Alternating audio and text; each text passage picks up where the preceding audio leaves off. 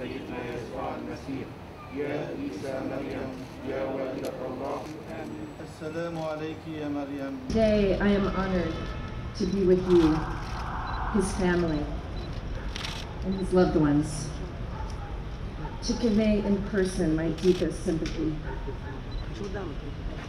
You were robbed, we all were robbed, of a great man This was a barbaric act, unforgivable and unacceptable.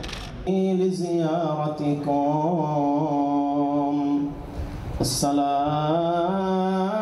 على الحسين وعلى أولاد الحسين He was tireless and relentless in his pursuit to reconcile Lebanon's people and to promote freedom and inclusion.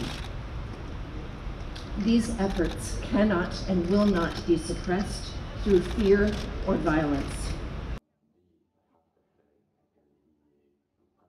Like him, let us not be deterred. We will push for what is just.